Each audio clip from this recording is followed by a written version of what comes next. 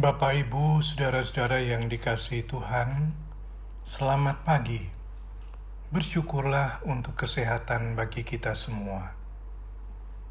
Tema kita hari ini adalah percaya pada powernya Tuhan yang didasarkan dari Matius 6 ayat 13. Karena engkaulah yang empunya kerajaan dan kuasa dan kemuliaan sampai selama-lamanya. Saudara, kalimat ini adalah bagian dari doa Bapa kami yang diajarkan oleh Tuhan Yesus Kristus. Namun tidak semua Injil menuliskan bagian ini. Pertanyaannya ialah, apakah Tuhan Yesus benar-benar mengucapkan atau tidak Buat saya tanpa mempersoalkan apakah Tuhan Yesus benar mengucapkan atau tidak, tapi menurut hemat saya kalimat ini penuh dengan makna dan pelajaran berharga buat kita semua. Yang pertama, kata karena memberikan suatu jaminan bahwa kita berhadapan dengan sosok yang tidak cuma mendengarkan ungkapan isi hati kita, tetapi dia juga punya otoritas. Dia punya kuasa untuk mewujudkannya. Mengapa? Karena dia adalah penguasa tunggal di dalam dunia ini. Baik dulu, sekarang, sampai selama-lamanya.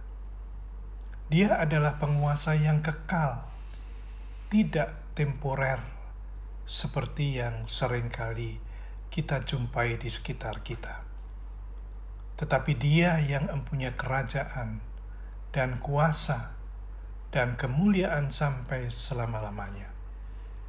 Dengan demikian, ungkapan isi hati kita, puji-pujian, dan doa kita tertuju ke arah yang tepat, tidak salah alamat.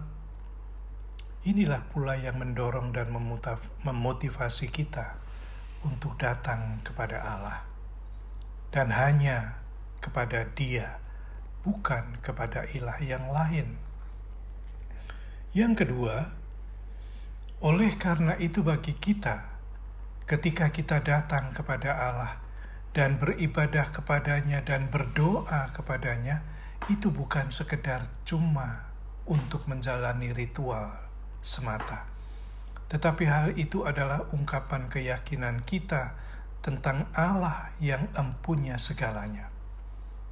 Ketika ada orang yang mengalami kesulitan, sering kali kita mengatakan, "Maaf, saya tidak bisa berbuat apa-apa.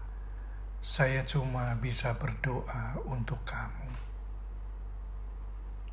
Bagi saya, doa bukan sekedar cuma tetapi itulah kekuatan yang kita imani. Karena kita datang dan mempercayakan kepada Allah yang Maha Kuasa. Namun, di sisi lain, hal ini juga sekaligus menjadi cermin ketaatan kita kepada Allah.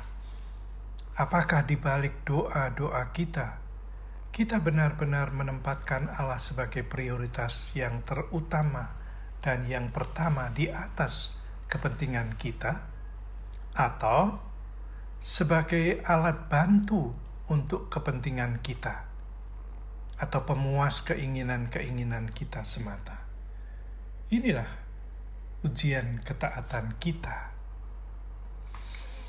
Yang ketiga, karena engkaulah yang empunya kerajaan dan kuasa dan kemuliaan sampai selama-lamanya. Mestinya menjadi pengakuan kita untuk berani mengatakan, Jangan kehendakku, tetapi kehendakmu yang jadi. Saudara, betapa sering hal ini menjadi pergulatan dan pergumulan kita, yaitu antara kehendakku dan kehendakmu. Di satu sisi, Allah yang punya otoritas, tetapi di sisi lain kita juga punya kehendak dan sering kali kita dihadapkan pada pilihan sulit antara kehendakku atau kehendakmu. Dalam konteks inilah, seyogyanya kita berani mempercayakan hasil akhir kepada Tuhan yang empunya kuasa. Sebab dia tahu apa yang baik, bahkan yang terbaik buat kita. Alamilah kuasanya. Amin.